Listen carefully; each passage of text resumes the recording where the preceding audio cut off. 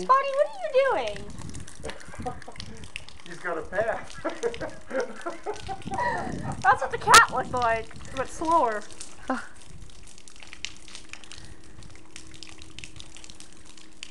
At least he's got a pathway so he can go find a place to do his business. Still on the cat's path. You can see where he turned That's- around. that's funny. It got filled in a little bit somehow.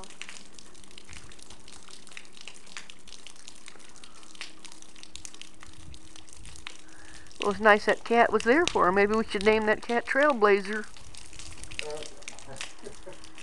I was gonna say, you need to be keeping cats uh, food out here for those, those wild cats. Because they can't possibly have enough to eat in this weather.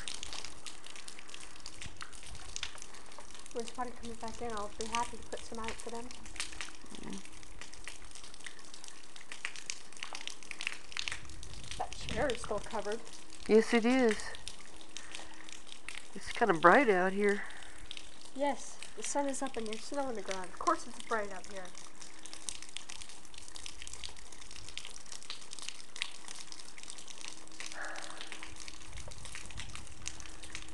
This is pretty wild. A significant amount of the snow has melted already.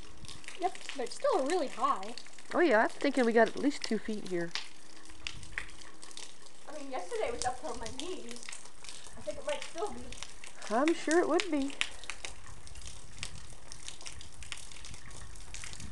Huh.